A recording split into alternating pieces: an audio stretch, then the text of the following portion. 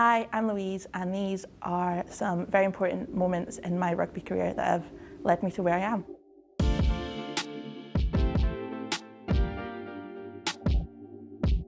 So this photo is, I think, from 2001. So I am aged about three or four here. I'm very obviously the only girl in the photo. And this is the first team I ever played for. This is the minis team I played for. Um, in terms of how much I played, I think some of the coaches that knew me at that age would be very surprised to see me sitting here. Uh, I think I was renowned for picking grass at the side of the pitch rather than actually playing. But yeah, it was quite a hard time for me being, as you can see in the photo, I am the only girl. There was no female coaches, so that was quite a confusing time for me because I did enjoy the sport, but I did feel very out of place. And I think that's probably one of the reasons why I do enjoy the environment so much now. We've got such great role models to look up to because I think Louise, aged four or five, however old I was there, would have loved to know that there was other girls playing. For me, it was quite an isolating time because I was the only girl on the team. So this is when I would say I really fell in love with rugby.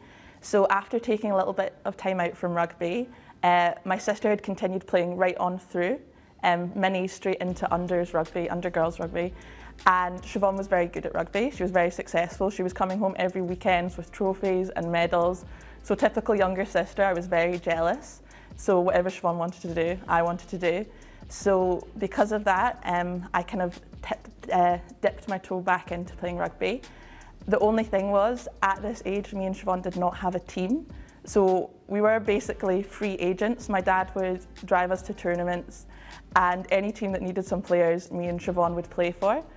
I was quite fortunate that Siobhan had a bit of a reputation as being a very good rugby player. So if Siobhan, if a team wanted Siobhan to play, they had to take me. That was my dad's rule. If you took one sister, you had to take the other. So because of that, we did get to play for quite a few teams. And this specific picture is from when we joined up with Biggar and we ended up winning the under 15 cup at the time, the national cup. And I remember like that was a huge moment in my career because it was like all these girls, all into different interests, different things, things that I was interested into. I finally found like my group of people. Um, and obviously we won, which everybody likes to win, so that was a big moment. Uh, I played my first senior game of rugby for Hillhead Jordanhill. Uh, in this photo, I think I'm 17 years old. I, this is 100% from the first game I played. It was against RHC.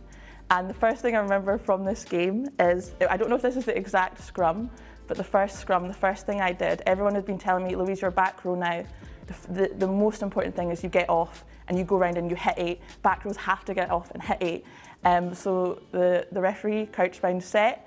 Before the ball had probably even gone in, I had already broken off the scrum, was round at eight's feet, and the ref called a penalty for offside. Both scrums stood up and were like, what has happened here? And I was just standing on the other side like, okay, this is a little bit different to anything I've done before.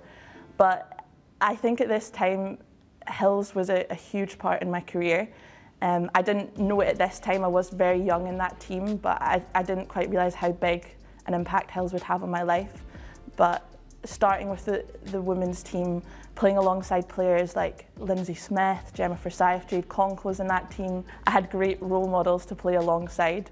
So I don't even think I realised at that time how fortunate I was to play with girls like that. But starting with Hills was a huge moment in my career. Um, so this next photo is taken from the Sarah Cup in 2016-2017 season. And this, I think, was my third season with Hills. Uh, but I was also captaining, this was my first season captaining. I think I was only 19 at the time. Um, and for me, it was just, it really brought me out of my comfort zone having to be captain. And suddenly when things go wrong, instead of being the one who went into themselves, I had to be the one that would talk to the team and try and work out a solution and solve it. I think to be 19 years old and leading out your team to win a national title at BT Murrayfield, that's pretty special. So looking back at this, this image, I'm like, wow, that is pretty cool. Like how many other people in the world get to say that they've done that? So this next photo is taken from my sister's first cap in Wales in Conway Bay. This was my second season um, playing for the Scotland team.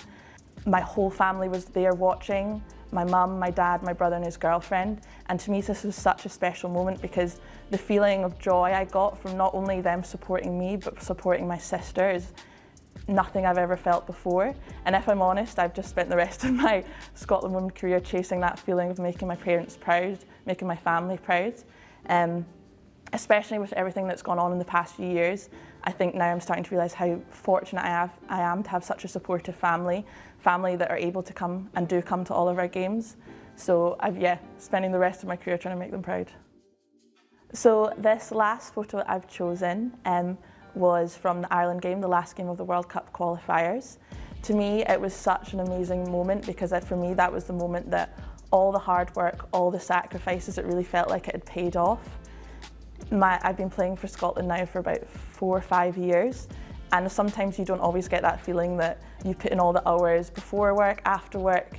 You sometimes feel like it is quite hard, but in that moment when we just beaten Ireland and we're now on to the next stage, it was really like, wow, that was all worth it. All the hard choices, all the early mornings, all the late nights, suddenly it was just like, you forget about all of that times and suddenly it was just this complete feeling of utter joy um, in that photo um, is probably some of my best friends and getting to have that moment and share that moment, share the picture of those girls, it was an utterly unbelievable feeling.